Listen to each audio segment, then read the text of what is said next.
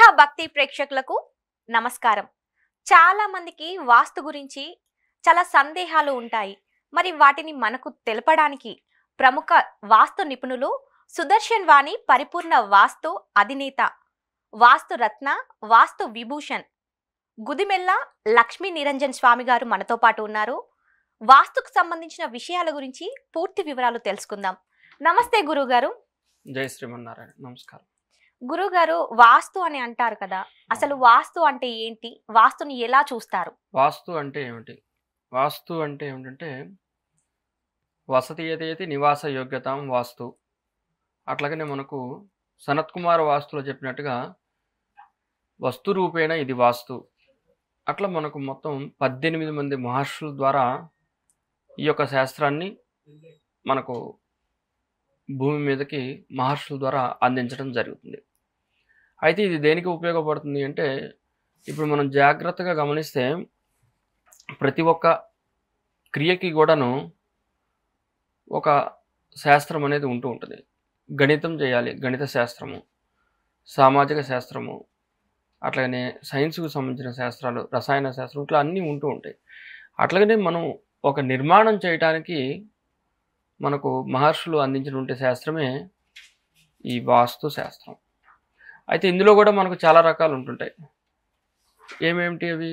జలవాస్తు అట్లా దేవాలయాలకు చూసేటువంటి వాస్తు మానవ నివాస గృహాలకు చూసేటువంటి ప్రక్రియ పశువుల శాలకు చూసేటువంటి ప్రక్రియ ఇట్లా అనేక రకాలైనటువంటి ప్రక్రియలు అంటే అక్కడ ఉండే నిర్మాణానికి అనుగుణంగా ఆ శాస్త్రంలో ఉండే నియమాన్ని మనం ఇంప్లిమెంట్ చేసుకుంటూ ఉంటాం. అయితే ఈ యొక్క వాస్తు శాస్త్రం అనేది మనకు నిర్మాణం ప్రకారంగా చేస్తూ ఉంటాము. అయితే ఇది నిర్మాణం అయిన తర్వాత చేయాలా? నిర్మాణం ముందు చేయాలా అనేది కూడా కన్ఫ్యూజన్ ఉంటూనే ఉంటుంది. అవునండి. నిర్మాణం ముందు చేస్తే ఏ విధంగా ఉంటుంది? నిర్మాణం తర్వాత చేస్తే ఏ విధంగా ఉంటుంది? అంటే రెండు కూడాను మనం పాటిస్తూనే ఉంటాము.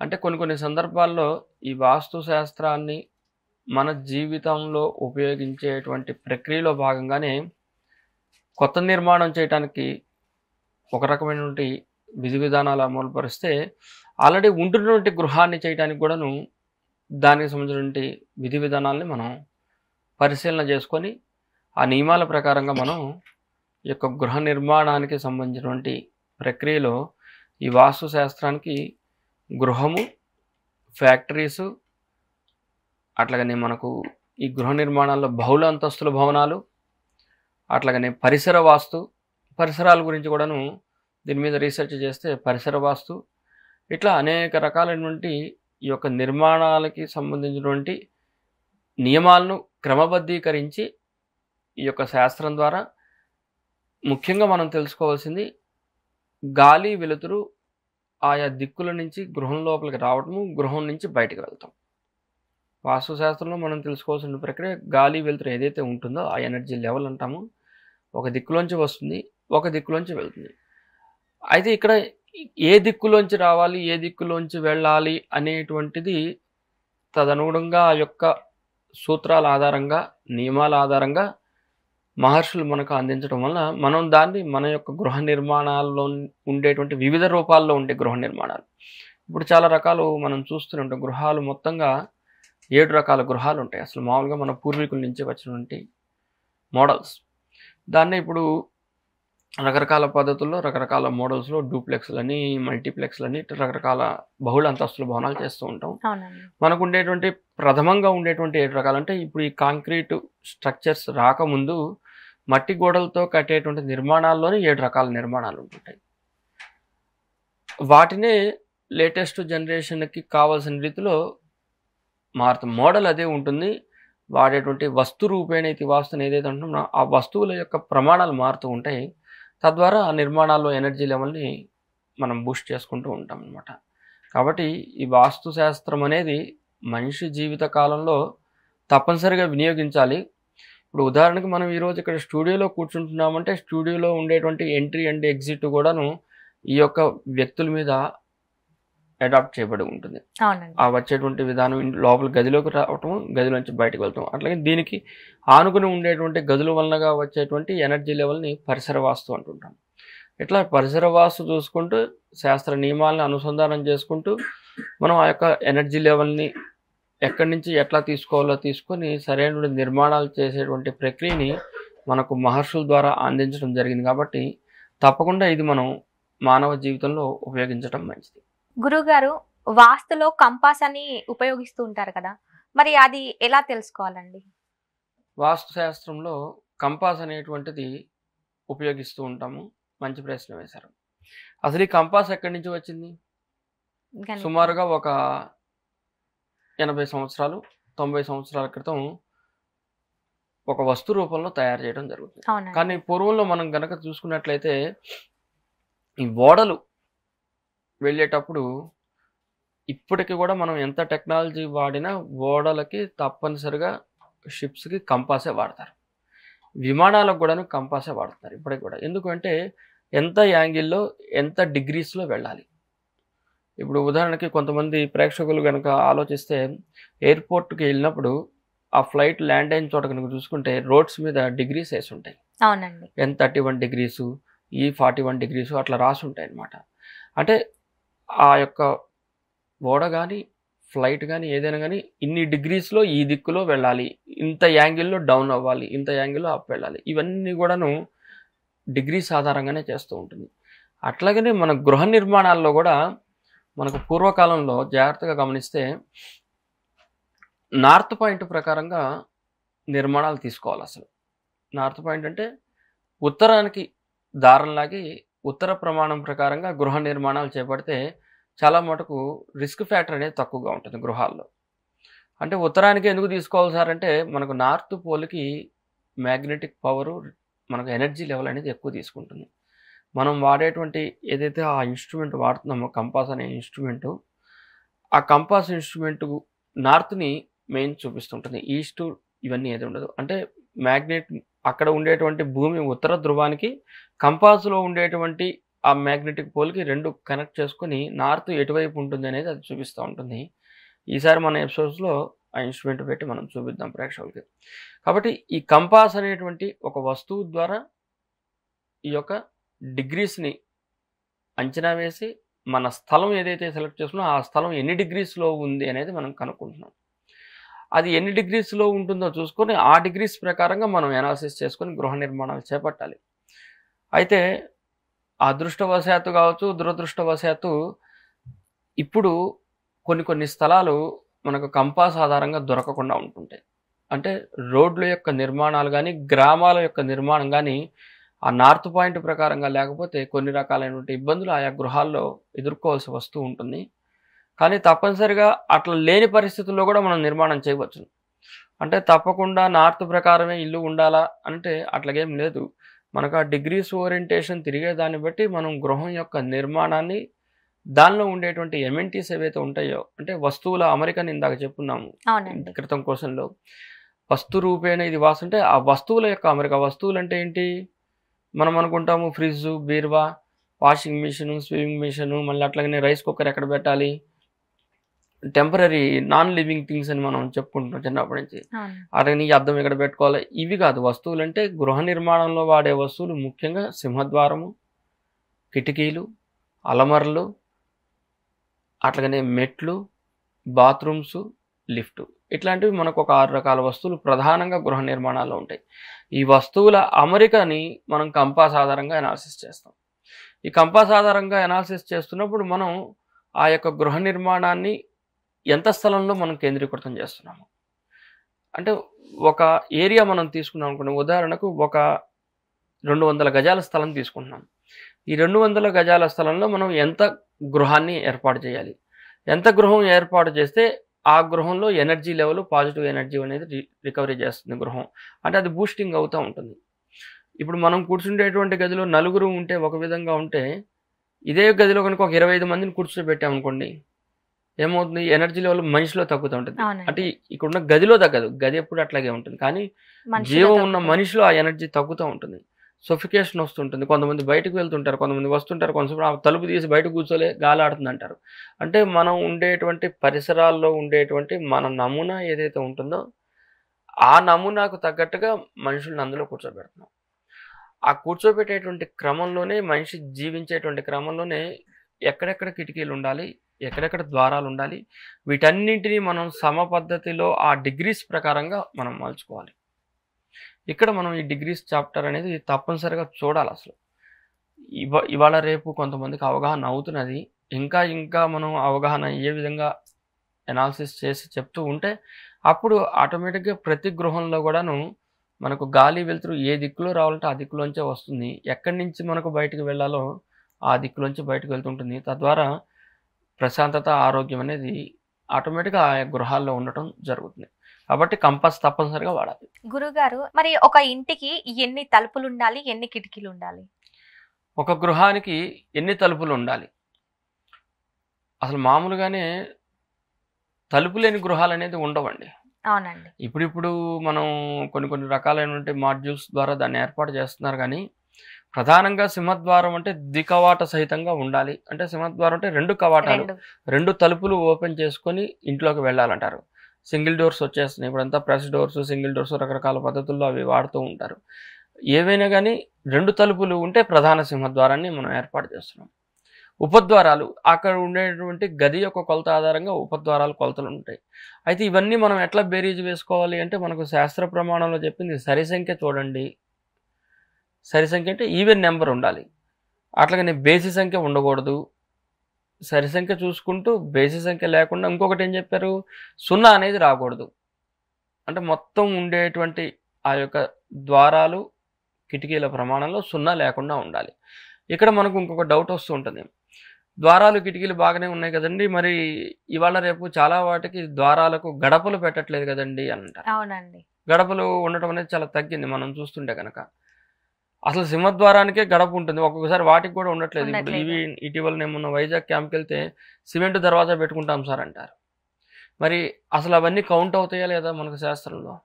ఒక ముప్పై ఏళ్ళు ముప్పై ఐదేళ్ళ క్రితం నుంచి సిమెంట్ దర్వాజాలు వస్తున్నాయి. అసలు సిమెంట్ దర్వాజాలు లేనప్పుడు ఏమిటి పరిస్థితి? అంటే మనకు అసలు శాస్త్ర ప్రకారంగా చెప్పినటువంటిది ఏమిటి?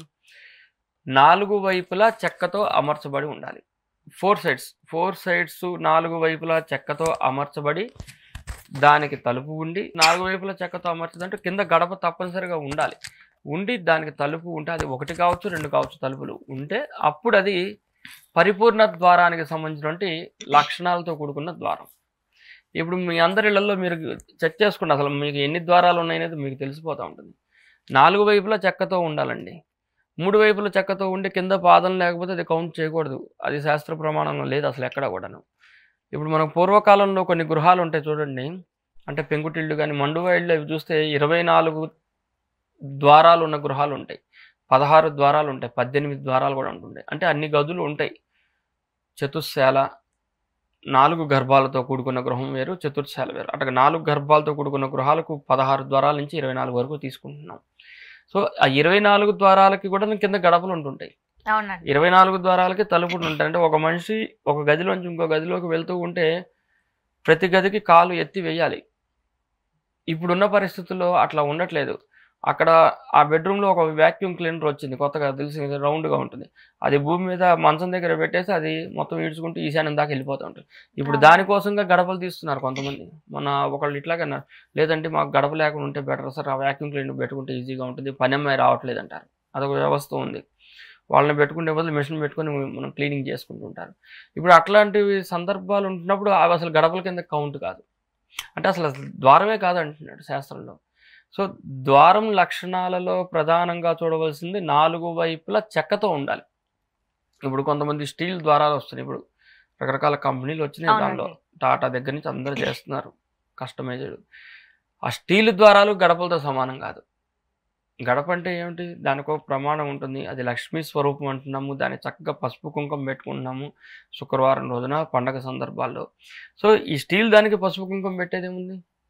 అట్లనే సిమెంట్ దానికి పసుపు కుంకుమ పెట్టినా దానికి ఫలితం ఉండదు. దేనికి ఉంటుంది అంటే నాలుగు వైపులా చెక్కతో అమర్చిన ద్వారానికే పరిపూర్ణమైనటువంటి ద్వారం అంటారు. అయితే ఈ ప్రధానంగా ఉండేటువంటి ద్వారానికి మనకు ఏదైతే సింహద్వారం దానికి పసుపు పెట్టుకుంటున్నారు. అది స్టీల్ కావచ్చు సి- మనకు సిమెంట్ కావచ్చు. పసుపు పెట్టుకోవటం వల్ల అది ఒక యాంటీబయాటిక్ సైంటిఫిక్గా ఆలోచిస్తాయి. రసాయన ప్రక్రియ అంటే బయట నుంచి వచ్చేటువంటి ఈ బ్యాక్టీరియా వైరస్కు సంబంధించిన ఏవైతే ఉంటాయో అవి ఇంట్లోకి రావాలంటే ఎక్కడి నుంచి వస్తాయి? తలుపులన్నీ క్లోజ్ చేసుకుంటే మనం చక్కగా ద్వారం ఓపెన్ చేస్తున్నాం. ద్వారం నుంచి లోపలికి వస్తున్నాయి.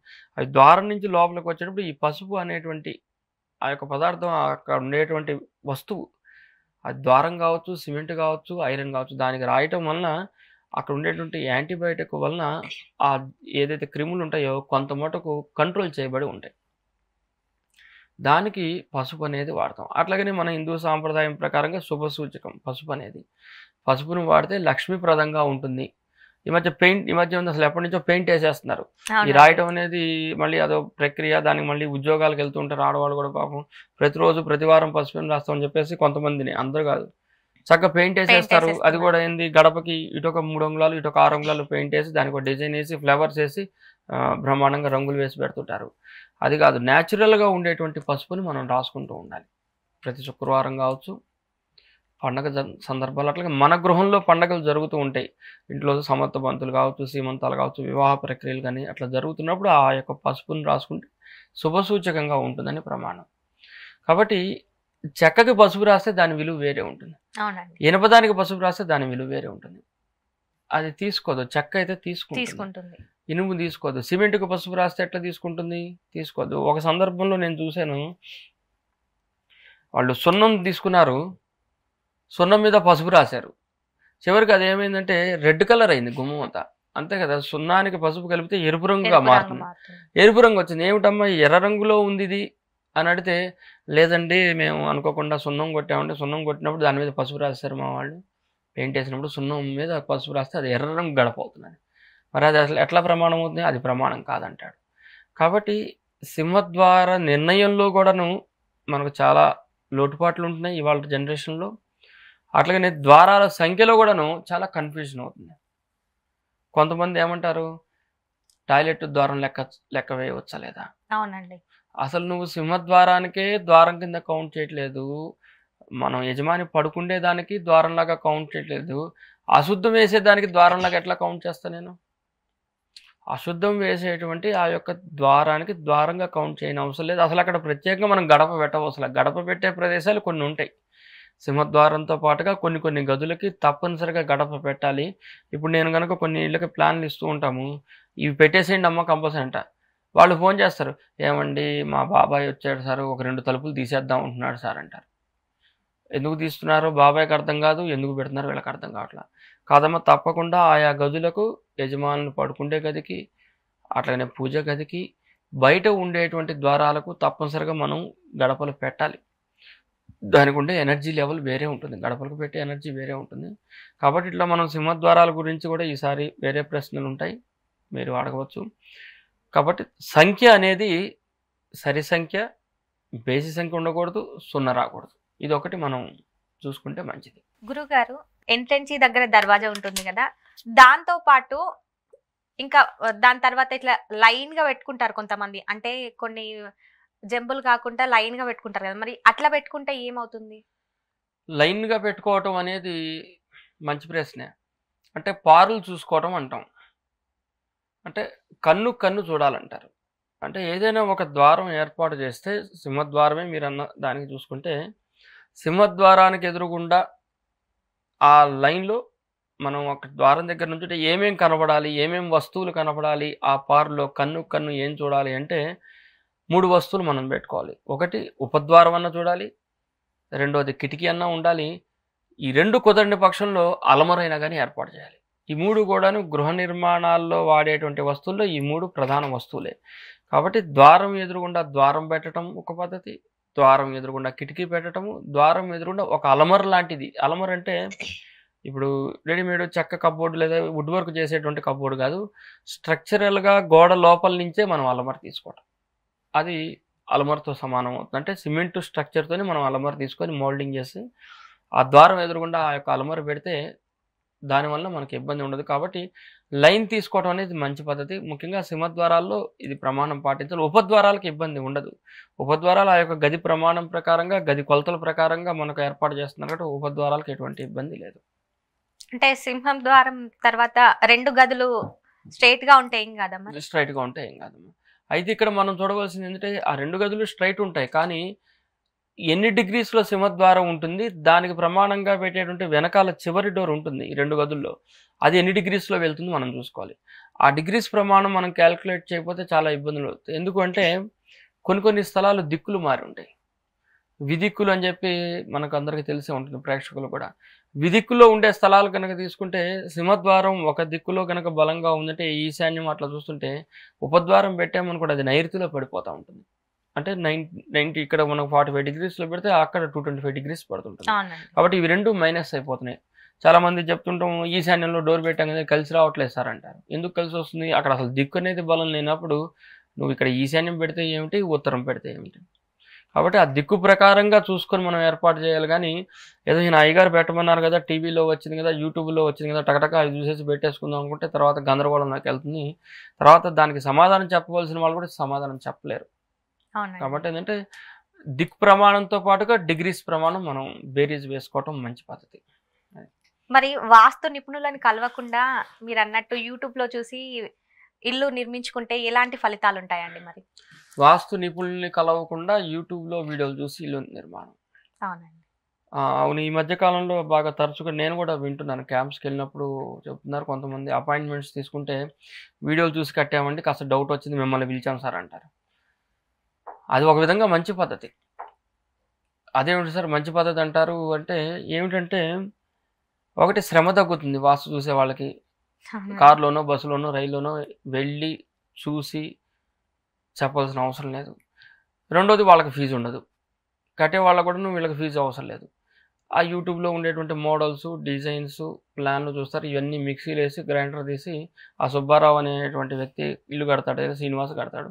ఆ శ్రీనివాస్ అనే వ్యక్తి ఒక ప్రోడక్ట్ తీసేసి మిక్సీలో వేసి "ఆ, ఓకే ఇది నాకు శ్రీనివాస వాస్తు అని చెప్పేసి పెట్టేసుకుని ఆయన ప్లాన్ పెట్టేసుకుంటున్నాడు. అయితే అందులో మెలకువలు తెలివిగా? అవునండి. ఇప్పుడు ప్లాన్ పెట్టడం వేరు మెలకు తెలుసుకోవటం వేరు ఇప్పుడు ఉదాహరణకి నాకు ఆపరేషన్ చేయాలి. వీడియోలు చూసి నేను ఆపరేషన్ చేయించుకోలేను. మా ఇంట్లో మా ఆడుకో లేదంటే మా పిల్లలు కోరి అబ్బాయి కత్తి కటార్లు పట్టుకొని వచ్చేసి లేదంటే ఆన్లైన్లో అమ్ముతారు. అమెజాన్లో కొనేసి ఆ సిజర్లో అవి పట్టరు ఆపరేషన్. నేను పడుకుంటా మూడు గంటలకు ముహూర్తం పెడదాం. మొత్తం ముగ్గురు కూర్చొని ఆపరేషన్ చేసేద్దాం అంటే పొరపాటే కదా. ఏమంటారు డాక్టర్ గారు ఏమంటారు? తిడతాడు. ఏం పంతులు గారు ఇట్టా చేశారు? ఒక మొక్క ఫోన్ చేయాలి కదా హాస్పిటల్కి వచ్చి అడ్మిట్ అయితే మీకు ఇబ్బంది ఏముంది? మేము చేస్తాం కదా. ఏం మీరు కోసుకోవటం ఏంటండి మేము ఉండలా? మేము చదువుకోలేదా? మాకు పరిజ్ఞానం లేదా మాకు ఈ టెక్నాలజీ తెలుసు. మేము మేము మీకు మత్తు ఇచ్చి శ్రద్ధ పెట్టి చేసి మళ్ళీ మిమ్మల్ని క్షేమంగా ఆరోగ్యంగా పంపుతాం. కదా ఎందుకు ఇట్లా చేశారు అని ఎప్పుడు వస్తుందంటే సగం ఆపరేషన్ అయిన తర్వాత డౌట్ వస్తుంది మా పిల్లాడికి. అదే కనుక మనం మొదట్లోనే డాక్టర్ని సంప్రదించి ఓ పద్ధతి ప్రకారంగా టెస్టులు చేయించుకొని మెడికల్ చెకప్లు చేయించి ఎక్స్రేలు తీయించి ఒక డాక్టర్ కాబట్టి ఇద్దరు ముగ్గురు నలుగురిని సంప్రదించి మనం ఒకళ్ళని సెలెక్ట్ చేస్తున్నాం డాక్టర్ని. అప్పుడు సెలెక్ట్ చేసిన డాక్టర్ మీద మనం పూర్తి నమ్మకం ఉండాలి. అట్లనే ఆ డాక్టర్కి ఈ పేషెంట్ మీద అవగాహన రావాలి. అతని బాడీకి తగ్గట్టుగా ఎట్లా చేయాలి ట్రీట్మెంట్ ఆపరేషన్ చేయాలా? ట్యాబ్లెట్ వేయాలి?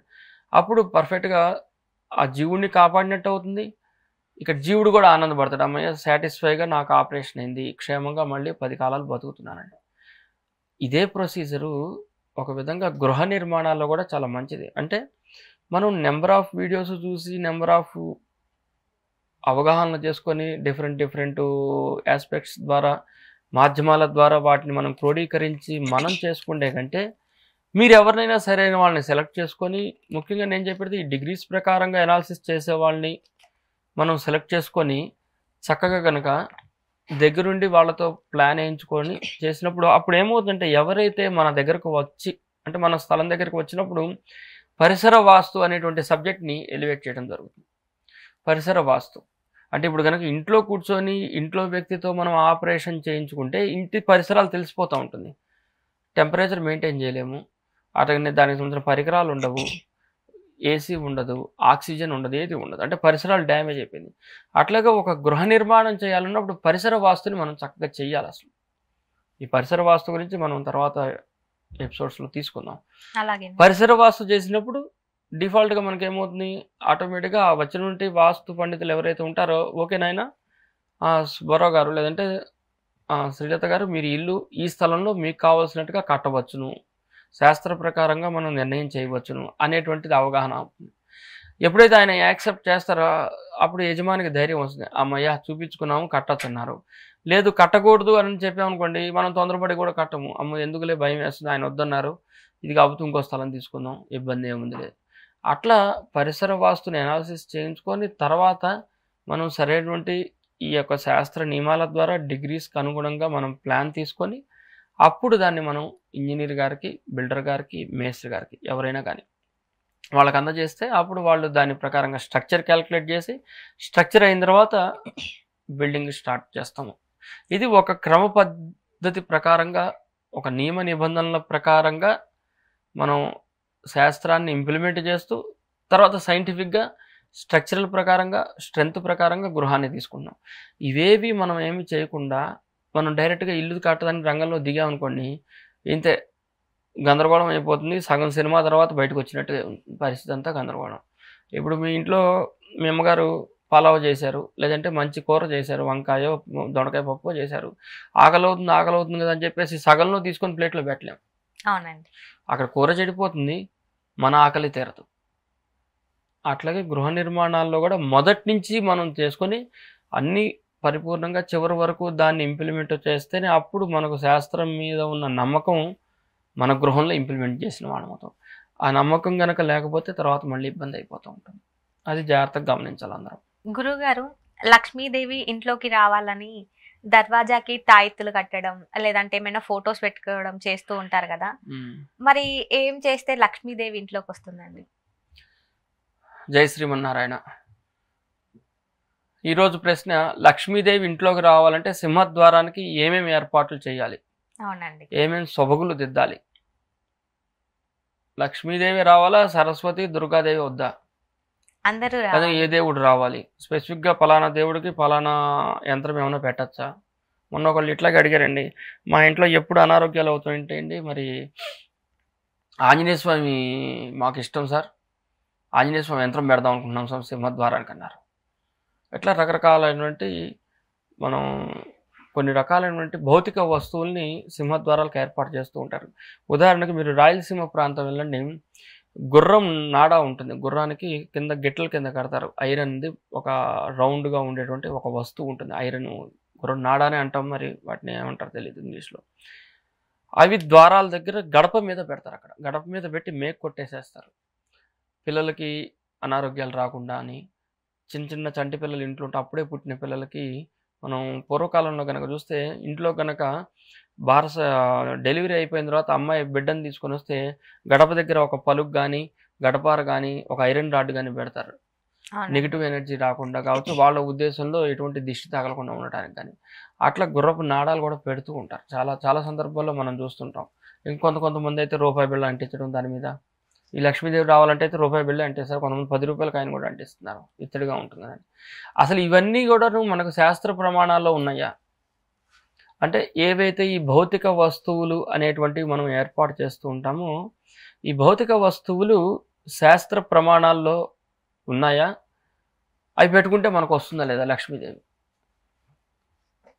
అట్లా ఎట్లా వస్తుందని నేను అను- అనుకుంటా. అప్పుడప్పుడు ఆలోచిస్తుంటాను. నేను కూడా ఇవన్నీ పెట్టుకుంటే విశేషంగా ఇంట్లో లక్ష్మి ఉంటుంది ఇంకా జనజీవన స్రవంతిలో ధనంతో ముందుకెళ్తూ ఉండొచ్చు. అవునా కదా? కానీ అది కాదు. శాస్త్ర ప్రమాణాల్లో మనకు చెప్పింది ఏంటంటే సింహద్వారము ఏదైతే మనం ఎంచుకుంటున్నామో అది ఏ దిక్కైనా కానీ తూర్పు కావచ్చు పడమర కావచ్చు ఉత్తరం కావచ్చు దక్షిణం కావచ్చు అంటే వారి వారి పేర్లు ప్రకారంగా కొన్ని ఉంటాయి ద్వార నిర్ణయాలు. వాళ్ళ పేర్లు ప్రకారంగా ఆ యొక్క ద్వారాలు ఒక ఆఫీస్ అయినా కానీ ఏదైనా ఎంచుకుంటున్నప్పుడు ఆ యొక్క సింహద్వారానికంటూ కొన్ని లక్షణాలు ఉంటాయి. సింహద్వార లక్షణాలు అనేవి కొన్ని ఉన్నాయి. ఆ యొక్క లక్షణాలు అది పెద్ద రహస్యం ఏం కాదు. మళ్ళీ ఎపిసోడ్లో మనం చెప్పొచ్చు. సింహద్వార లక్షణాలు ఏవైతే ఉంటాయో ఆ సింహద్వారానికి కొన్ని రకాలైనటువంటి శాస్త్ర ప్రకారంగా ఉండేటువంటి దైవానికి సంబంధించిన వస్తువుని మనం ఏర్పాటు చేయాలి అసలు. మనకు ఉదాహరణకి కొన్ని దేవాలయాలు చూడండి. కొన్ని కాదు నేను చాలా దేవాలయాలు చూస్తూనే ఉంటాను. అన్ని గుళ్ళకి తిరుగుతూ ఉంటాం కదా మీరు కానీ. కానీ ఇంకా ఎవరైనా కానీ మన వ్యూయర్స్ కూడా. ఈహార టీవీలో. ఏ దేవాలయానికి వెళ్ళినా కానీ మనం జాగ్రత్తగా గమనిస్తే గర్భగుడిలోకి వెళ్ళేటప్పుడు వచ్చేటువంటి ముఖద్వారం ఏదైతే ఉంటుందో దానిపైన తప్పనిసరిగా శివాలయం కావచ్చు విష్ణాలయం కావచ్చు మధ్వులకు సంబంధించిన కానీ వైష్ణవులకు సంబంధించిన కానీ వైదికులకు సంబంధించిన కానీ ఏ ఆలయాలైనా ధనలక్ష్మి ఫోటో ఉంటుందమ్మా. ఈవెన్ ఇటీవల నేను మనం శ్రీశైలం వెళ్ళినప్పుడు కూడా పరికి చూస్తే పైన ధనలక్ష్మి ఫోటో ఉంటుంది. గజ సారీ గజలక్ష్మి ఫోటో ఉంటుంది. అంత ధనం గురించి ఆలోచిస్తుంటే ఆ పేరు వస్తుంది నాకు. గజలక్ష్మి ఫోటో ఉంటుంది. ఇక్కడ చూడండి ఇందాకన్నా ధనలక్ష్మి ఫోటో ఉండదు. మీరు అడిగింది లక్ష్మీదేవి రావాలి కానీ. ధనలక్ష్మి ఉండదు అక్కడ. ధనలక్ష్మిలో ఏమిటంటే అభయాస్తంతో ఇట్లా లక్ష్మీదేవి సిర్లు కురిపించే విధంగా రావాలి. కానీ గజలక్ష్మికి ఓన్లీ అభయాస్తం ఉంటుంది ధనం ఉండదు. రెండు ఏనుగులు ఉంటాయి అటు ఇటు. అంటే ఏనుగు అంత బలం రావాలని. అట్లనే ఏ కార్యక్రమం అయినా మనం ఏనుగునికి ఉదాహరణ తీసుకుంటే దాని ముందు ఏది కూడా నిలవలేదు ఇంకా. దాని కుంభస్థలానికి అంత బలం ఉంటుంది. అట్లాగే మనం పెట్టే సింహద్వారానికి కూడా అంత ఎనర్జీ వచ్చే విధంగా ఎవరు వచ్చినా కానీ మన ఇంటి ఎదురుగుండా నుంచినప్పుడు మనం ఢీకొట్టే విధంగా అది మాటతో కావచ్చు చేతతో కాదు మాటతో. కావచ్చు మన జ్ఞానం ద్వారా కావచ్చు మన మర్యాదల ద్వారా కానీ వాళ్ళని ఆ, సంతృప్తి పరిచే విధంగా ఆ యొక్క సింహద్వారానికి లక్షణాలు ఉంటాయి అంటే ఆ యొక్క గజలక్ష్మికి అంత ఎనర్జీ పవర్ ఉంటుంది. అట్లాగే మనకు శాస్త్ర ప్రమాణంలో మనకు ఈ పద్దెనిమిది మంది మహర్షుల ద్వారా రాసినటువంటి ఈ యొక్క వాస్తు శాస్త్రంలో పదహారు మంది ఏకీభావంగా చెప్పేది సింహద్వారాల పైన బయట వైపున గజలక్ష్మి ఉండాలి. Outside. లోపల వైపున ధనలక్ష్మి ఉండాలి. ఈ రెండు ఫోటోలు తప్పనిసరిగా పెట్టుకోవాలి అసలు. అంటే లోపల ధనలక్ష్మి మన లక్ష్మిని ఇంట్లోకి తెచ్చుకుంటున్నాం. బయటకు వెళ్ళేటప్పుడు గజలక్ష్మి ఎందుకండి? గజలక్ష్మి. మనం బయట ధనలక్ష్మి కాదు. బయటకు వెళ్ళేటప్పుడు గజలక్ష్మి అంటే యజమాని బయటకు వెళ్ళేటప్పుడు ఆ ద్వారం చూసుకొని నమస్కారం చేసుకొని సంకల్పం చేసుకుంటే ఎటువంటి కార్యక్రమమైనా నిర్విఘ్నంగా ముందుకు వెళుతుందని అర్థం. సో సింహద్వారానికి బయట వైపేమో గజలక్ష్మి లోపల వైపేమో ధనలక్ష్మి. ధనలక్ష్మి లోపల వైపు అంటే ఒక ఫోటో పెడతాము. బయట వైపు గజలక్ష్మిలో కూడా చాలా ప్రమాణాలు వచ్చేసినాయి. ఫోటో పెట్టుకోవచ్చు. చక్కది కార్వింగ్ వర్క్ ఉంటుంది. కార్వింగ్ వర్క్ చేసుకొని పెడుతుంటారు. ఇట్లా రకరకాలుగా ఉంటుంది. కాబట్టి ఈ యొక్క గజలక్ష్మి ఫోటో తప్పనిసరిగా సింహద్వారాలకు బయట వైపున ఉండాలి. చాలామందికి తెలిసే ఉంటుంది. కొంతమంది స్వస్తిక్ ఓం ఇవి కూడా పెడుతూ అవునండి. చూస్తూ ఉంటాము. ఇందాక అన్నట్టుగా ఒక ఆయన ఆంజనేయ స్వామి ఫోటో పెట్టుకుంటాను సార్ అన్నారు. ఆంజనేయ స్వామి ఫోటో కూడా పెట్టుకోవాలి. అది చెప్తాను తర్వాత ఎట్లాగనేది. కానీ. ఒక్క ద్వారానికి మటుకు గజలక్ష్మి ఫోటో ఒకటి ఉంటే ఎటువంటి ఇబ్బంది లేకుండా నిర్విఘ్నంగా మీ యొక్క కార్యక్రమాలన్నీ దిగ్విజయంగా కార్యక్రమాలంటే మనం చేసేటువంటి న్యాయబద్ధమైన కార్యక్రమాలు మళ్ళీ ఇతరత్ర కాకుండా న్యాయబద్ధమైన కార్యక్రమాలన్నీ ధర్మబద్ధంగా ముందుకు సాగాలంటే యొక్క గజలక్ష్మి ఫోటో సింహద్వారానికి బయట పెట్టుకుంటే ఎటువంటి ఇబ్బంది లేకుండా ముందుకు కదిలే అవకాశాలు ఆ యజమానికి ఉంటాయి. గురువు గారు ఇప్పుడు వాస్తు విషయానికి వస్తే చాలా మంది ఇంటి యజమాని అంటే యజమాని పేరు మీద వాస్తు చూస్తూ ఉంటారు. మరి కుటుంబ సభ్యుల మీద ఏమైనా సమస్యలు వస్తాయా? యజమాని పేరు మీద వాస్తు. అవునండి. జై శ్రీమన్నారాయణ. ఈరోజు మన ప్రశ్న యజమాని పేరు మీద వాస్తు చూస్తాం వల్ల వాళ్ళ పిల్లలకి వాళ్ళ తరాలకి ఏమైనా ఇబ్బందులు ఉంటాయా? లేదంటే వాళ్ళకి కూడా బలం పెరుగుతుందా లేదా? రెండో విధంగా ఆలోచిస్తే బలం వస్తుందా లేదా అసలు? వస్తుందా లేదా? అంటే అసలు ఇది పేరు మీద వాస్తు అనేది ఎంత మటుకు అది సఫలీకృతం అవుతుంది? పేరు మీద వాస్తు చూడటం వల్ల అసలు యజమానికి ఒక్కళ్ళకే చూడాలా?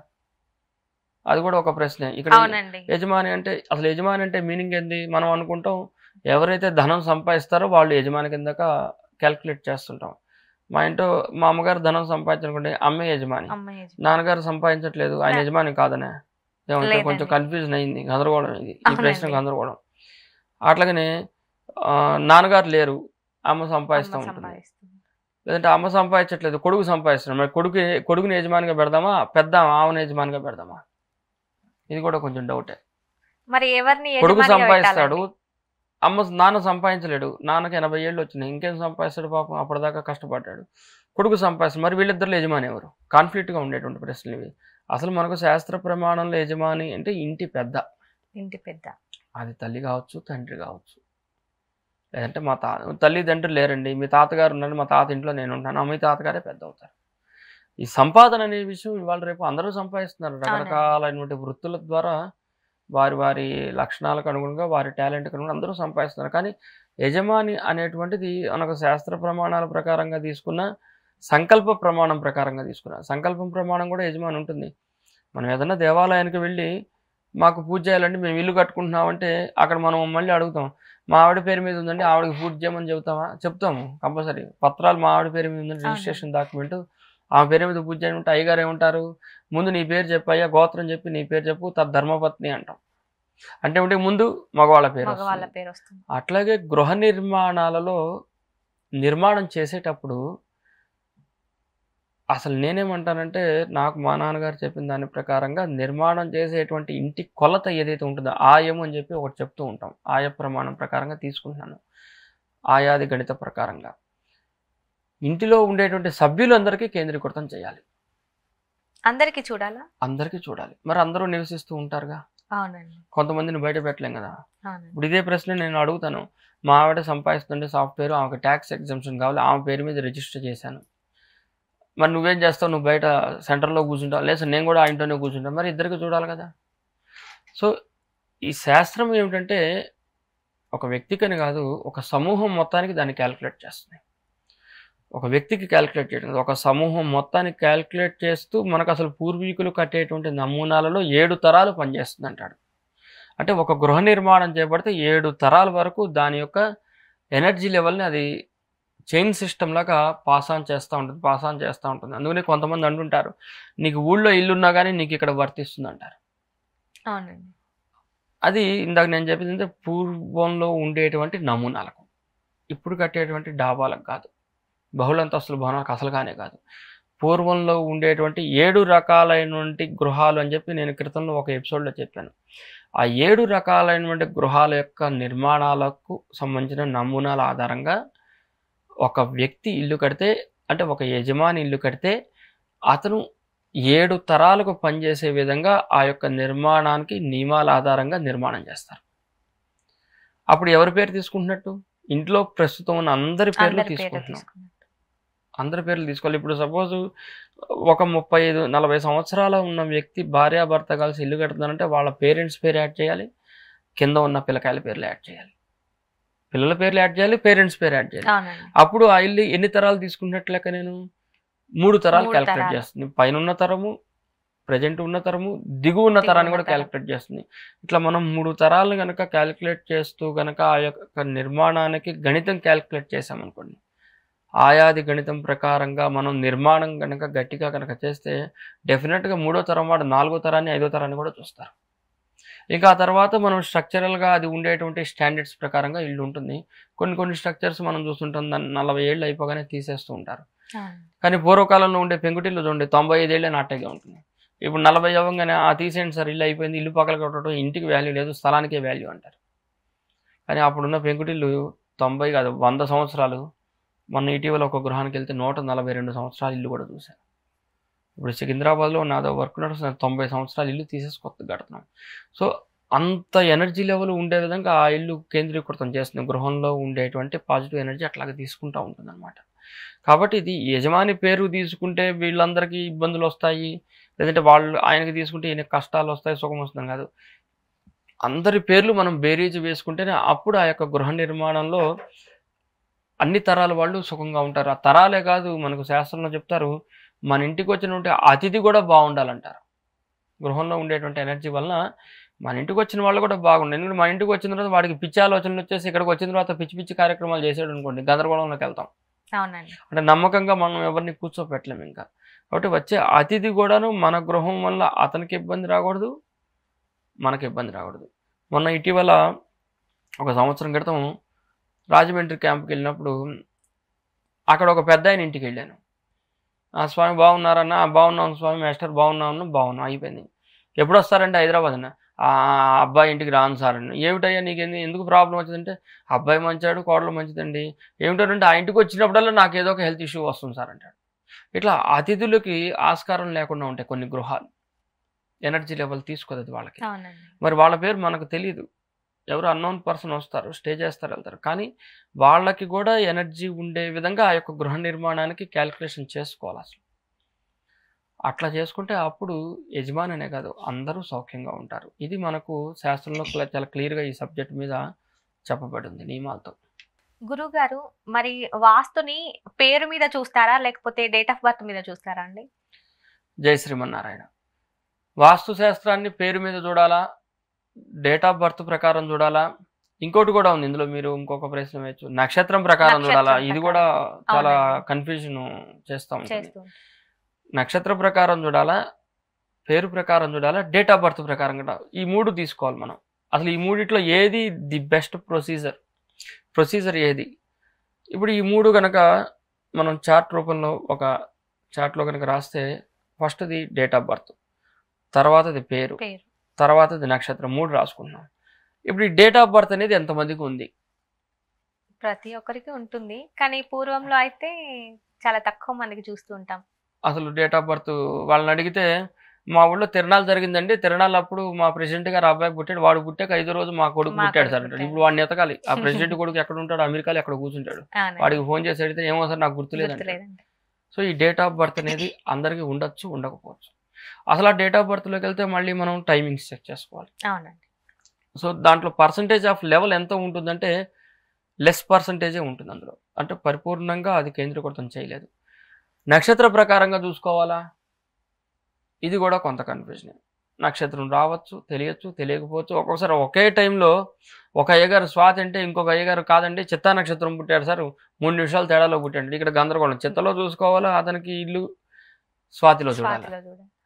సో ఈ రెండిట్లో చూస్తాం అటెట కుదురుతుంది. కాదంటే మా ఊళ్ళో అయ్యగారి మీద మాకు నమ్మకం ఉంది. ఏడు తరాల నుంచి ఆయన చూస్తున్నాడు. మేము చెత్త చూసుకుంటా ఉంటాడు.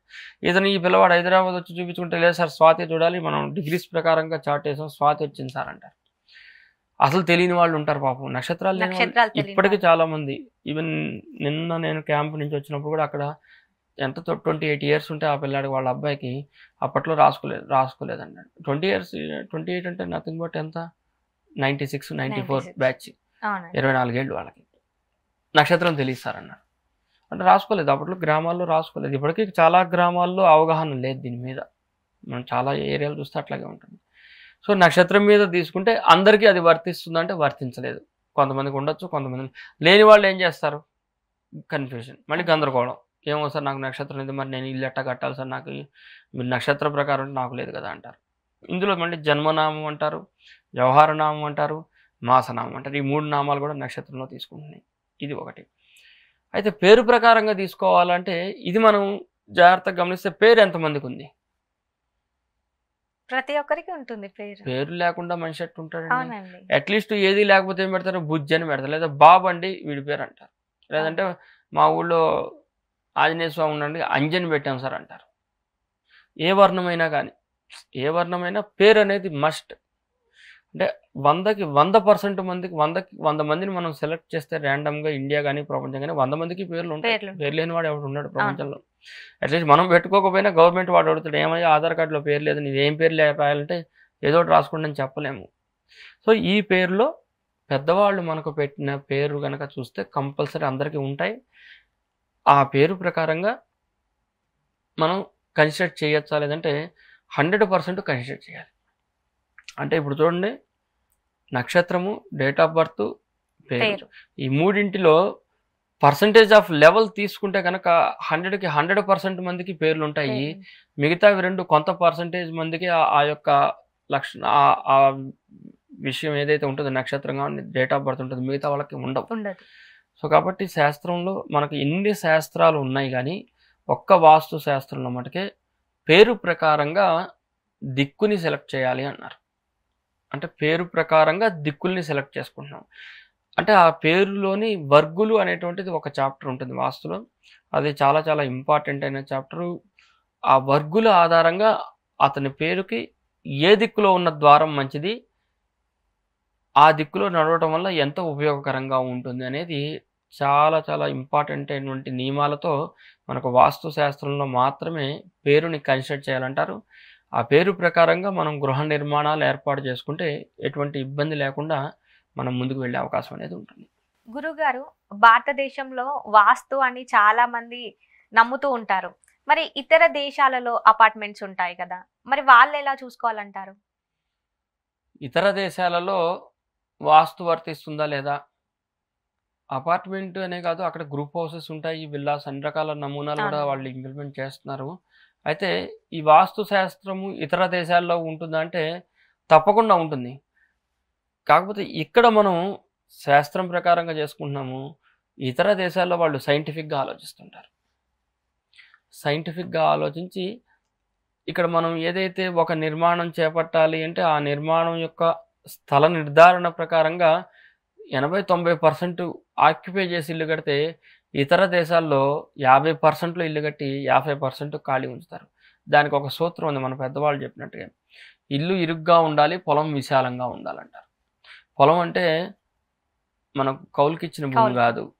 మనం ఎంచుకున్న స్థలము ఆ స్థలంలో ఉండేటువంటి ఇల్లు చిన్నది ఉండాలి. స్థలానికి ప్రహరీకి మధ్యలో ఉండేటువంటి ఖాళీ ప్రదేశం ఏదైతే ఉంటుందో అది మొత్తం కూడా ఎక్కువగా చూపించాలంటారు. అంటే మనం ఉండేటువంటి ల్యాండ్ వంద గజాలు రెండు వందల గజాలు ఉంటే అందులో ఫిఫ్టీ పర్సెంట్ సిక్స్టీ పర్సెంట్. యాభై నుంచి అరవై పర్సెంట్ మనం ఈ యొక్క గృహ నిర్మాణానికి ఏర్పాటు చేసుకొని మిగతా ఫిఫ్టీ సిక్స్టీ పర్సెంట్ ఏదైతే ఉంటుందో అదంతా కూడాను ఖాళీ ప్రదేశంగా వదులుకొని అక్కడ మనం పూల మొక్కలు పెట్టుకోవటం కానీ నీటి గుంటలు పెట్టుకోవటం కానీ ఎర్త్ పాయింట్లు చేసుకోవటం కానీ అట్లాగే సోపానాల అమరిక చేసుకోవటం కానీ ఇట్లాంటివన్నీ కూడాను మనం మిగతా పర్సంటేజ్లో ఉంటుంది. అప్పుడు ఎమ్ఎన్టీస్ అన్నీ కూడా ఆ ఫిఫ్టీ పర్సెంట్లో ఉంటాయి. ఫిఫ్టీ పర్సెంట్ ఇల్లు కేంద్రీకృతం అవుతుంది. తద్వారా గృహ నిర్మాణంలో పాజిటివ్ ఎనర్జీ ఎక్కువగా తీసుకుంటుంది. ఇప్పుడు ఈ అమెరికా లాంటి దేశాల్లో కావచ్చు ఇరాన్ ఇరాక్ దుబాయ్లు ఏ కంట్రీ తీసుకున్నా అదర్ దాన్ ఇండియాలో తీసుకుంటే ఖాళీ ప్రదేశం బాగా వదులుతారు ఇల్లు చిన్నది కడుతుంటారు. నేను కూడా కొన్ని ముఖ్యంగా ఈ అమెరికాలో కానీ వీటి దగ్గర ప్లాన్స్ ఇచ్చున్నాను. వాళ్ళు అరెకరం పొలం తీసుకుని ఇల్లు ఒకటే కడతారు. మనం ఇక్కడ వంద గజాల స్థలం తీసుకొని ఐదిళ్ళు కట్టేస్తాం. వంద గజాల స్థలంలో ఐదిళ్ళు అవసరమైతే ఇరవై ఫ్లోర్లు వేసేస్తాం మొత్తం ఇక్కడ అసలు నలుగురు ఉండవలసిన ప్రదేశంలో నలభై ఐదు మందిని కూర్చోబెడతాడు పైనుంచి కిందకి. మంది పెరుగుతూ ఉంటే మజ్జిగ పలచన అవుతుంది అంటారు చూసారా? ఇదే ప్రమాణం. అంటే ఉండవలసిన స్థలంలో ఉండేటువంటి ఆ ఎనర్జీ లెవెల్కి తగ్గట్టుగా అంతమంది నివసిస్తే సూపర్ ఎనర్జీ. దానిలో క్రౌడ్ని పెంచుకుంటూ వెళ్తూ ఉంటే ఎనర్జీ డ్రాప్ అవుతూ ఉంటుంది. మనం జాగ్రత్తగా లౌకికంగా ఆలోచిస్తే వాటర్ రిసోర్స్ తగ్గుతుంటాయి డ్రైనేజ్ లెవెల్స్ డ్యామేజ్ అవుతుంటాయి మనకు ఎయిర్ సర్క్యులేషన్ తగ్గిపోతూ ఉంటుంది దిక్కుల్ని తీసుకోలేము అందరికీ అన్ని దిక్కులు వాడటానికి ఉండదు ఇవన్నీ కూడా మైనస్ ఇతర దేశాల్లో అట్లా ఉండదు. ఒక ఇల్లు ఒక స్థలంలో కడితే ఆ స్థలం అనేది ఎక్కువ వదిలి ఇల్లు చిన్నది కట్టుకుంటున్నాడు. ఇక్కడ వాళ్ళు వాస్తును పాటించినట్టే లెక్క. మనకు శాస్త్రంలో చెప్పిన ప్రమాణం అది ఒకటి అసలు మెయిన్ అది చెయ్యాలి. మనం అది ఏమీ చెయ్యకుండా ఇల్లు పెద్దది కట్టండి సార్. స్థలం తక్కువ ఉన్నా పర్లేదు ఇంటి చుట్టూతా. ఇల్లు చాలా పెద్దది విశాలంగా ఉండాలి సార్. అసలు మీకు తెలియదు సార్ గదులు పెద్దవి కావాలి సార్ అంటారు కొంతమంది. పెద్ద హాల్ పెద్ద బెడ్రూమ్ కావాలి సార్. వీడికి ఉన్నది నూట యాభై గజాల స్థలంలో పెద్ద బెడ్రూమ్ పెద్ద హాల్ కట్టమంటారు. సో నువ్వు అంత పెద్ద పెద్ద ఇల్లు అంత పెద్దది కట్టాలంటే నువ్వు ఐదు వందల గజాల స్థలం తీసుకోవాలి. సో నూట యాభై గజాల స్థలంలో నీకెంత బెడ్రూమ్ కావాలో అంత కోరుకోవాలి. ఎంతెంత టాయిలెట్లు కావాలో అంతే కోరుకోవాలి. ఎంత వంట గదులు కావాలో అంత కోరుకోవాలి. నువ్వు పెద్ద స్థలం తీసుకుంటే దానికి తగ్గట్టుగా ఇది ఎలాబరేట్ చేసేసి ప్లాన్ మొత్తం కూడాను పెద్దదిగా చేసుకోవచ్చు. కాబట్టి స్థల నిర్ధారణ చేసినప్పుడు ఈ యొక్క స్థలం యొక్క దిక్కులు ప్రకారంగా ఆయా స్థలంలో కనుక ఖాళీ ప్రదేశాలు వదిలే దాన్ని బట్టి ఎనర్జీ పాస్ అవుతుంది. తద్వారా మనం కూడాను ఇతర దేశాలతో పోటీగా వెళ్తూ ఉంటాం. కొన్ని ఇళ్ళు మనం చూస్తే ఇల్లు చాలా చిన్నగా ఉంటుంది ఖాళీ స్థలం ఉంటుంది. ఇంట్లో కుటుంబ సభ్యులందరూ వారి వారి వృత్తుల్లో విశేష నైపుణ్యంతో మంచి గుడ్ విల్తో ఉంటుంటారు. ఆదాయ వనరులు పెరుగుతుంటాయి గుడ్ విల్ పెరుగుతూ ఉంటుంది. ప్లస్ ఆరోగ్యాలు డిఫాల్ట్ వెళ్తూ ఉంటారు మంచి ఆరోగ్యంగా ఉంటుంటారు. సో అట్లాంటి నమూనాల కోసం ఇప్పుడు మనం ఒక హైదరాబాద్ నగరాన్ని చూస్తే group houses weekend houses Saturday houses అని మళ్ళీ ఇంకోటి గెస్ట్ హౌసెస్ అని రకరకాల పేర్లతో పిలిచి హైదరాబాద్కి రింగ్ రోడ్డు బయట భాగాలు వెళ్ళి ఒక్కొక్కళ్ళు రెండు వందలు రెండు వందల యాభై ఐదు వందల గజాలు కొనుక్కొని ఒక ఇల్లే కడుతున్నారు. అక్కడికి వెళ్ళి కట్టచ్చుగా అపార్ట్మెంట్ కట్టరు. ఆడకెళ్ళి ఒక ఇల్లు కట్టేసి అప్పుడు అంటాడు ఏమిటోనండి శనాదివారాల్లో మేము ఫామ్ హౌస్కి వెళ్తున్నాం. అక్కడ హాయిగా ఉందండి. మేము కూర్చుంటే అక్కడికి వెళ్ళినప్పుడల్లా ఒక ఫో ఫోన్ కాల్ వస్తుందండి. ఆర్డర్ తీసుకోవటం. ఇక్కడ ఇంటూ ఉంటే ఒక్కటి రాదండి. ఎందుకంటే ఎనర్జీ లెవెల్ అక్కడ అంత ఉంది. అక్కడ ఎనర్జీ లెవెల్ అంత విస్తృతంగా ఉంటుంటుంది. ఆటోమేటిక్గా మనకు దైవబలం పెరుగుతుంది. బిజినెస్లో మంచి మెళుకువలు అవకాశాలు జాబులు అవకాశాలు పెరుగుతాయి. అప్పుడు వాడు తరచుగా వెళ్తూ ఉంటాడు ఆ యజమాని. వీకెండ్ హౌస్కి. వెళ్తాం మూడు రోజులు నాలుగు రోజులు. అవసరమైతే అక్కడి నుంచే కంప్యూటర్ పెట్టుకొని వర్క్ చేస్తున్నా సార్ అంటారు. ఎందుకంటే ఆ ఎనర్జీ పాస్ చేయాలి అంటే అంత స్థలానికి అంత ఇల్లే కట్టారు. ఇక్కడ ఇట్ట ఉండదు. చిన్న స్థలం తీసుకొని పెద్ద ఇల్లు కడుతున్నాం. కాబట్టి ఇతర దేశాల్లో కూడా వాస్తు ఉంది. అక్కడ సైన్స్ ప్రకారంగా కేంద్రీకృతం చేయటం వల్ల గాలి వెలుతురు సక్రమమైన దిశలో సక్రమమైనటువంటి ఆ డిగ్రీస్ ప్రకారంగా ఎలివేట్ అవడం వల్ల ఎనర్జీ పాస్ అవుతూ ఉంటుంది. కాబట్టి తప్పకుండా వాళ్ళు కూడా పాటిస్తున్నట్టు ఇవన్నీ. గురువు గారు మనం చాలా చోట్లలో చూస్తూ ఉంటాం వింటూ ఉంటాం కదండి. అంటే రెంటింట్లో ఉంటూ ఉంటారు. రెండింటి నుంచి సొంతింటికి వెళ్ళాలి అని అంటే ఏం చేయాలి? జయ శ్రీమన్నారాయణ. అద్దె గృహంలో వాళ్ళు సొంత ఇల్లుకి వెళ్ళాలంటే ఎట్లా చేయాలి? లేదా అద్దె గృహంలో వాళ్ళు ఈ చిన్న నియమాలు రెండు మూడు పాటిస్తే సొంత గృహంలోకి ఈజీగా వెళ్ళిపోవచ్చు.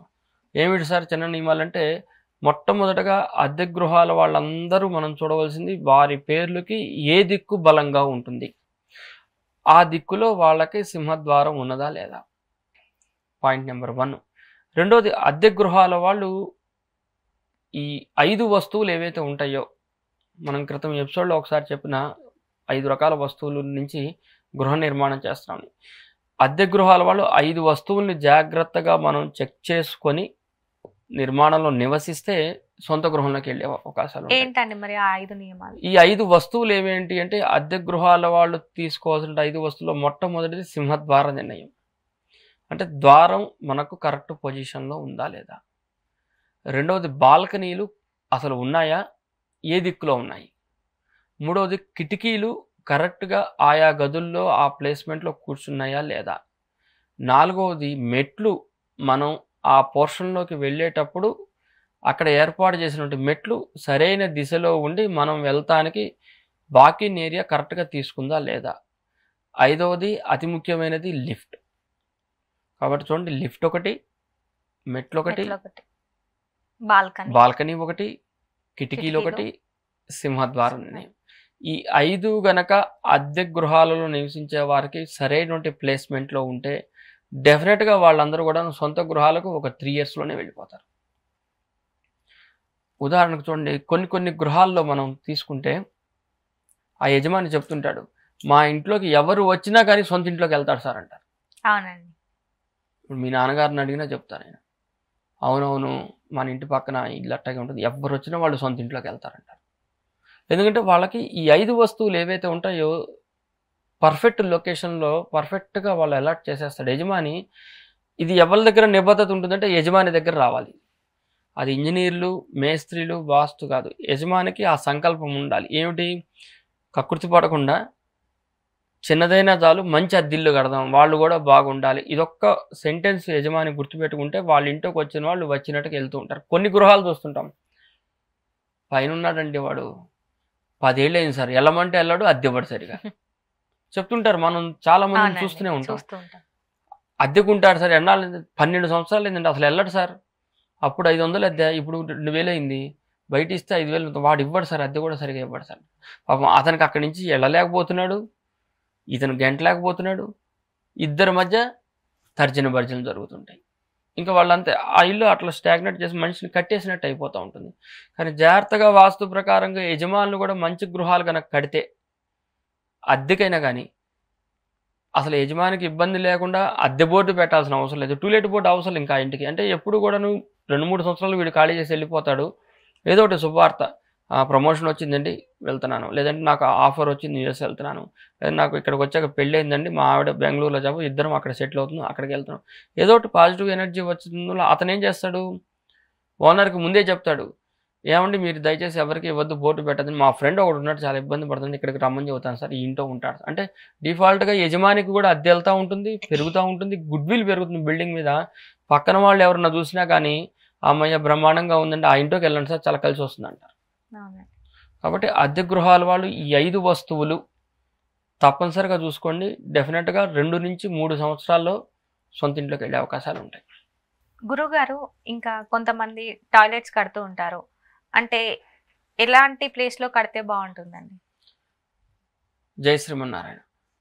టాయిలెట్లు ఏ ప్లేసుల్లో కడితే బాగుంటుంది? ఇది ముఖ్యంగా సొంత ఇళ్ళ వాళ్ళు తెలుసుకోవాల్సి ఉంటే అవునండి. టాపిక్. అసలు టాయిలెట్లు ఏ ప్లేస్లో కడితే బాగుంటుంది? ఎంత సైజులో కడితే బాగుంటుంది? ఇదేమిటండి? మీరు వాస్తు చూస్తారు కదండి టాయిలెట్కి సైజుకి సంబంధం ఏముందంటే తప్పనిసరిగా మనం చూడాలి. అంటే ఆ దిక్కు ప్రకారంగా టాయిలెట్లు కడుతున్నాం బట్ కానీ టాయిలెట్ సైజు బెడ్రూమ్లో సగం ఉంటుంది వాళ్ళ రేపు. చాలా పెద్దది పెద్ద టాయిలెట్. సార్ స్టీమ్ బాత్ పెట్టాలి మా అబ్బాయి పడుకొని స్నానం చేయాలి ఇంకా మళ్ళీ పక్కన wet room టాయిలెట్లో dry room dry wet area ఈ మొత్తం కలిగితే వాడికి పదకొండు అడుగులు పది అడుగులు గది అవుతుంది. బెడ్రూమ్ చూస్తేనేమో పద్నాలుగు అడుగులు అయితే టాయిలెట్ చూస్తే పది అడుగులు గది. అవునండి. సో అంతంత పెద్ద పెద్ద ఇంత చేసాక ఆ టాయిలెట్లు ఎంతసేపు ఉంటారు నాయన అంటే నువ్వు పదిహేను నిమిషాల కంటే ఉండవు. ఇరవై నాలుగు గంటల్లో పదిహేను నిమిషాలు కట్టేటువంటిది దీనికి ఒక నియమం ఉండేది. మా నాన్నగారు చాలాసార్లు కూడా చెప్పినారు. ఒక మనిషి ఉండే చోట తక్కువ ప్లేస్ ఉండాలి. నలుగురు కూర్చుండే చోట ఎక్కువ ప్లేస్ ఉండాలి. నలుగురు కూర్చుండేటువంటిది అసెంబ్లీ పాయింట్ హాల్ అవుతుంది. అది ఫస్ట్ కేంద్రీకృతం చేసి మంచి హాల్ తీసుకుంటున్నాము. తర్వాత ఇద్దరు కూర్చుండేది. అది బెడ్రూమ్ కావచ్చు వంటగది కావచ్చు దాని మీద తగ్గుతుంది. తర్వాత ఒకడు కూర్చుండేది టాయిలెట్ అన్నిటికంటే చిన్నగా ఉండాలి. ఇంకా ఇది ఏ దిక్కులో ఉండాలి? అది దక్షిణము పడమర. మనం అది డిగ్రీస్ ప్రకారంగా అనాలిసిస్ చేసుకోవాలి. డిగ్రీస్ ప్రకారంగా అనాలిసిస్ చేసుకుంటూ ఈ టాయిలెట్ని దక్షిణం పడమర భాగాలు ఏర్పాటు చేసుకుంటూ వీలైనంతగా చిన్నది ఉండాలి. అట్లాగని మరి నేను రెండు అడుగులు టాయిలెట్ పెట్టమని అట్లా. మరి ఇబ్బంది అయిపోతుంది. స్నానం చేస్తే అటు ఇటు ట్యాపులు తగిలితే దెబ్బలు. తగులుతున్నాయి. మూడు అడుగులు కానీ నాలుగు అడుగులు టాయిలెట్ కానీ ఒక మనిషి ఫ్రీగా నుంచొని స్నానం చేసేట్టుగా ఉంటుంది. అంతేగాని చాలా బిగ్ టాయిలెట్లు పెట్టి అసలు స్థలం మొత్తంలో వంద గజాల స్థలం అంటే వంద గజాలు తొమ్మిది వందల అడుగుల స్థలం అయితే టాయిలెట్కి వంద అడుగులు కేటాయించకూడదు. టెన్ పర్సెంట్ టాయిలెట్ ఆక్యుపై చేసినప్పుడు ఆటోమేటిక్ ఇల్లు మైనస్ అయిపోతుంది కాబట్టి ఆ దిక్కుల ప్రకారంగా టాయిలెట్ని చిన్న సైజు కట్టుకుంటూ హాలు పూజ గది వంటగది మనకు ఉండేటువంటి బెడ్రూమ్స్. ఇక దీంట్లో రకరకాల ఏరియాలు ఉంటాయి. ఫైర్స్ అని సిట్అవుట్స్ అని డ్రాయింగ్ రూమ్ అని ఎన్ని పేర్లు పెట్టుకున్నా కానీ ఇవన్నీ కూడాను ఆయా వ్యక్తులకు ఆధారంగా ఎంత స్థలం ఉంది ఎంత ఇల్లు కడతాం అందులో ఇవి ఎంత ఉండాలి పర్సంటేజ్ ఆఫ్ లెవెల్ చూసుకొని దాని ప్రకారంగా ఏర్పాటు చేసుకుంటే ఎటువంటి ఇబ్బంది లేదు. గురుగారు ఇందాక మీరు గదులని అన్నారు కదా మరి పూజ గది ఏ సైడ్ ఉంటే బాగుంటుందండి? ముఖ్యంగా జయ శ్రీమన్నారాయణ పూజ గది ఏ సైడ్లో ఉంటే బాగుంటుంది. పూజ గది అనేది నాలుగు దిక్కులు దీనికి ప్రమాణం ఉంటాయండి. నాలుగు దిక్కుల్లో పెట్టచ్చు. ఏమిటి నాలుగు దిక్కులు అంటే తూర్పు పెట్టచ్చు దక్షిణం పెట్టచ్చు వాయువ్యం పెట్టచ్చు అట్లాగనే నైరుతి. తూర్పులో కూడా తూర్పు మధ్య భాగం కానీ ఈశాన్య భాగం కానీ ముఖ్యంగా ఇది ప్రాంతాల వారీగా పూజ గదుల యొక్క ప్రమాణం అనేది మారిపోతూ ఉంటుంది. ఉదాహరణకు మనకు తెలంగాణలో తీసుకున్నాం అనుకోండి వాయువ్య భాగాల్లో ఉంటాయి పూజ గదులు పురాతన గృహాలు తీసుకుంటే వాయువుల్లో పూజ గది పెడతారు. అట్లాగే మనకు ఇటు రాయలసీమ ప్రాంతం అనంతపురం అట్లా అటు నుంచి కర్ణాటక వెళ్ళి చూసుకుంటే కనుక నైరుతిలో పూజ గదులు పెట్టినళ్ళు చాలా ఉంటుంటాయి. అదే మనం ఆంధ్రాలో కనుక చూసుకుంటే పూజ గదులు తూర్పు భాగాల్లో పెట్టి ఉంటాయి అన్నమాట. కాబట్టి ఆయా ప్రాంతాలకు అనుగుణంగా వాళ్ళు పూజ గదులు పెడుతున్నారు. అయితే ఏ పూజ గది ఎక్కడ పెట్టినా గాలి వెలుతురు ఆడాలండి. కొన్ని ప్రాంతాల్లో పూజ గదులు మనం చూస్తూ ఉంటే స్టోర్ రూమ్ లాగా ఉంటుంటుంది. అందులో అందులో అసలు సూర్యకిరణాలు పడవు. పూర్తిగా స్టోర్ రూమ్ లాగా చీకటి కొట్టులాగా ఉంటుంది. అందులో దీపారాధన చేస్తే వాళ్ళు ఆటోమేటిక్గా రూమ్ అంతా కూడా నువ్వు బ్లాక్ యాష్ పౌడర్ లాగా మొత్తం అంతా దీపారాధన అగరొత్తులు కర్పూరం ఇవన్నీ వెలిగిస్తూ ఉంటే మొత్తం స్టోర్ రూమ్ లాగా ఉంటే ఉంది మొత్తం మసిపోసి మారేడుగా వేసినట్టు అయిపోతుంది. కాబట్టి అట్లా లేకుండా గాలి వెలుతురు వస్తుండాలి పొగ వెళ్ళిపోయేట్టుగా ఉండాలి పూజ గదిలో. ఇంకోటి దిక్కు ప్రకారంగా మనం చూసుకోవాలి. పూర్వకాలంలో చూసుకుంటే కనుక పూజ గదులు నైరుతులు కూడా పెట్టిన మనం నైరుతిలో ప్రత్యేకంగా పూజ గది పెట్టేవాళ్ళు అట్లాగనే మనకి లాకర్స్ ఇట్లాంటివన్నీ కూడా ఈశాన్యాలు కూడా పెట్టుండేవాళ్ళు. తర్వాత తర్వాత తదనుగుణంగా ఈ యొక్క కాలం అను కాలానికి అనుగుణంగా మారిపోతా ఉన్నాయి వస్తు రూపంలో. కాబట్టి ఎక్కడ ఉన్నా కానీ మనకు బేసిక్గా గాలి రావాలి గాలి వెళ్ళాలి పూజ గదిలోకి. అది ఆయా దిక్కు ప్రకారంగా చూసుకోవాలి. అట్లాగే మనం ప్లాన్ వేయించుకునేటప్పుడు డిగ్రీస్ ఆధారంగా మనం దాన్ని చెక్ చేసుకుంటే ఎటువంటి ఇబ్బంది లేకుండా పూజ గది నిర్మాణం చేయవచ్చు. గురుగారు ఇందాక మీరు అన్నట్టు ఈశాన్యంలో బీరువా పెడితే మంచిది అని అంటారు. అసలు నిజంగానే మంచిదా లేకపోతే ఏదో మూఢనమ్మకమా? ఈశాన్యంలో బీర్వా ఈశాన్యంలో బీర్వా అని కాదు కానివ్వండి మనకు పాత మండువా ఇళ్ళు కనుక తీసుకుంటే మండువా గృహాలు అనేది నమూనాలు ఉంటాయి నాలుగు వైపుల సింహద్వారాలు ఉన్నాయి నాలుగు వైపుల గర్భాలు ఉండి ఇట్లా మండువా ఇళ్ళు ఉంటాయి అట్లాంటి గృహాలలో ఈశాన్యంలోనే లాకర్ ఉండేది. అది కూడా లాకర్ ఎంత?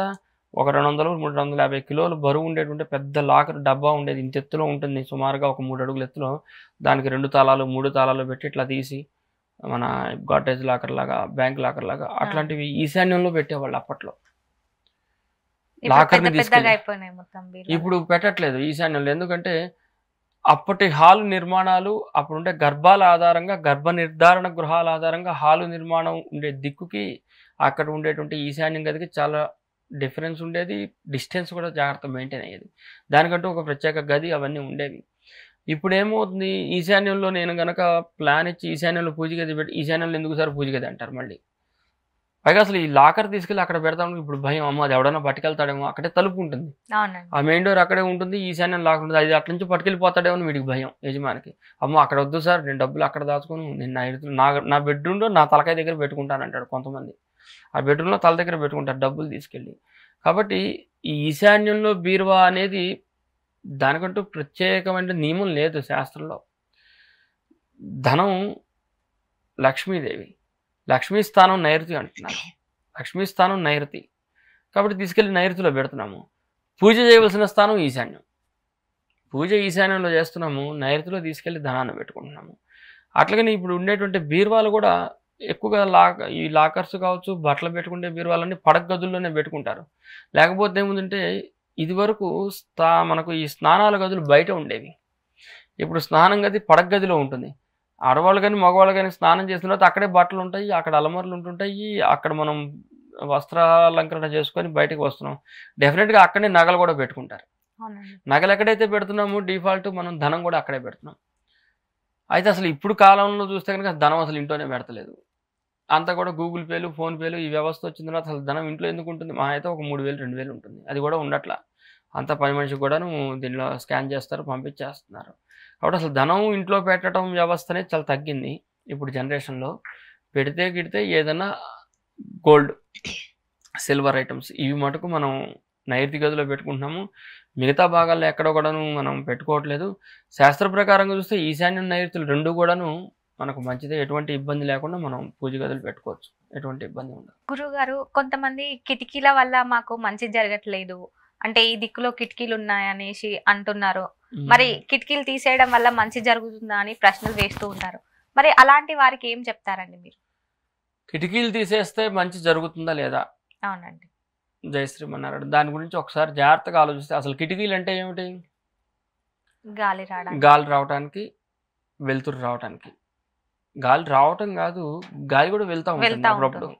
పైనుంచి ఫ్యాన్ వేసినప్పుడు దాని ఫ్యాన్ ప్రెషర్కి ఎయిర్ సర్క్యులే ఎయిర్ కిందకి వచ్చినప్పుడు నెక్స్ట్ లెవెల్లో ఏదైతే ఎగ్జిట్ ఉంటుందో ఆ ఎగ్జిట్లోకి వెళ్ళిపోతూ. ఉంటుంది. కాబట్టి తప్పనిసరిగా కిటికీలు ఉండాలి. ఆ కిటికీలు మనకు సైంటిఫిక్గా గాలి వెలుతురిని ట్రాన్స్ఫర్ చేస్తూ ఉంటుంది. ఇంటి మొత్తంలో రొటేషన్ చేస్తూ ఉంటుంది. లోపలికి బయటికి లోపలికి బయటికి వెళ్తూ ఉంటుంది. సరే ఇప్పుడంటే ఈ ఏసీ ఇవన్నీ రావడం వల్ల కిటికీలు తగ్గించేశారు తక్కువ చేశారు. కానీ కిటికీలు ఉండటం మంచిది. కానీ శాస్త్ర ప్రకారంగా చూసుకుంటే ప్రతి గదికి కూడాను ఎక్కడో ఒక దిక్కులో అది ఆ డిగ్రీస్ ప్రకారం ఏదో ఒక దిక్కులో మనకు ఒక కిటికీని ఎలివేట్ చేయాలంటాడు. ఏదో ఒక దిక్కు ఎలివేట్ చేయాలి. అంటే అక్కడ ఉండే డిగ్రీస్ ప్రకారంగా కొన్ని గదుల్లో కొన్ని డిగ్రీస్ మైనస్ అవుతూ ఉంటుంది. నైరుతి కానీ వాయువ్యం కానీ ఆ డిగ్రీస్ వస్తూ ఉంటప్పుడు ఆడ కిటికీ పెట్టము. దానికి రెండో దిక్కు ఏదైతే ఉంటుందో రెండో భాగం ఏదైతే ఉంటుందో ఆ భాగంలో కిటికీ పెడతాం అంటే కొన్ని గృహాలకు కొన్ని కిటికీల సంఖ్య తగ్గిపోతూ ఉంటుంది. కొన్ని కొన్ని చిన్న చిన్న ఇళ్ళకు కూడా పెద్ద ఎక్కువ కిటికీలు పెట్టాలి. అవునండి. నెంబర్ ఆఫ్ విండోస్ స్మాల్ హౌస్కి పెరుగుతాయి. కొన్ని పెద్ద పెద్ద ఇళ్ళకి తక్కువ కిటికీలు కూడా వస్తుంటాయి. అంటే మనకు ఉండేటువంటి ఆ దిక్కు ప్రకారంగా కిటికీల అమరిక ఉండాలి. అంతేగాని కిటికీలు తగ్గించేసేస్తే కాస్ట్ తగ్గుతుంది అని చెప్పేసి ఇల్లు కట్టుకునే వాళ్ళు ఆలోచిస్తున్నారు. అమ్మో రెండు కిటికీలు తగ్గిద్దాం సార్ పది రూ పదివేల రూపాయలు ఆదా అవుతుంది. కిటికీ ఐదు వేలు ఖరీదు అంత కొనలేము సార్ అంటారు. అది చాలా పొరపాటు. కిటికీ పెట్టడం వల్ల గాలి వస్తున్నది. కిటికీ తీసి గోడ కడితే ఏమవుతుంది? వచ్చే గాలి ఆగిపోతుంది. వచ్చే వెలుతురు ఆగిపోతున్నది ఎనర్జీ లెవెల్ డ్రాప్ అవుతుంటుంది. మనిషికి లోపల శ్వాస ఆడదు పూర్తిగా. ఎందుకంటే ఓన్లీ ద్వారం నుంచి లోపలికి గాలి వస్తుంటే అది ఎగ్జిట్ ఎట్టగా వెళ్ళాలి? ఎగ్జిట్ వెళ్ళదు. కాబట్టి ఏంటంటే ద్వారం ఉంటూ కిటికీ ద్వారా రొటేషన్ అవుతూ ఉండాలి.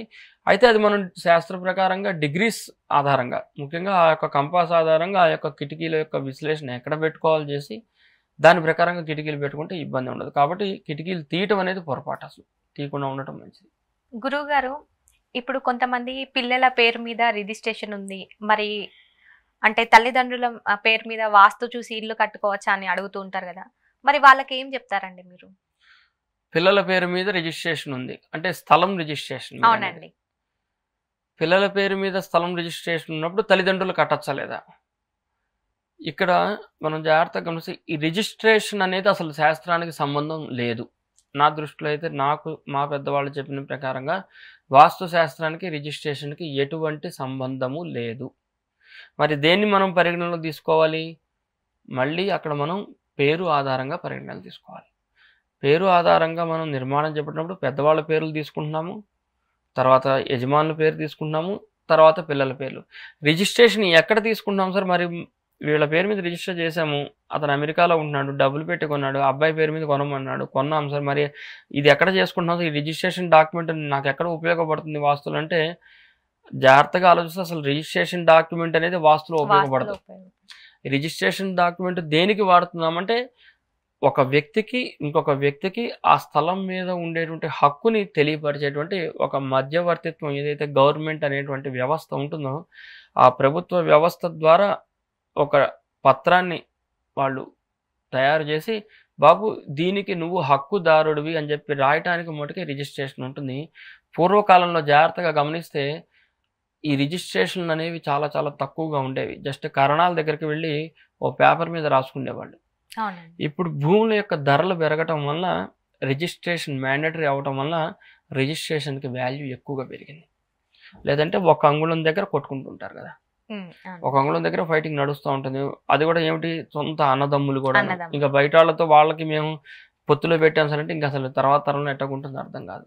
కాబట్టి ఈ రిజిస్ట్రేషన్ అనేది వాస్తుకి సంబంధం అనేది అది కేవలం ఆ యొక్క వ్యక్తికి ఆ యొక్క స్థలం మీద ఉండేటువంటి హక్కును మాత్రమే సూచిస్తుంది. కానీ మనం నిర్మాణం చేసేటప్పుడు మటుకు రిజిస్ట్రేషన్తో సంబంధం లేకుండా ఆ కుటుంబంలో ఉండేటువంటి వ్యక్తుల అందరినీ కూడాను మనం క్రోడీకరించి అప్పుడు దానికి నిర్మాణం చేస్తే ఎటువంటి ఇబ్బంది లేకుండా ముందుకు వెళ్ళే అవకాశం ఉంటుంది.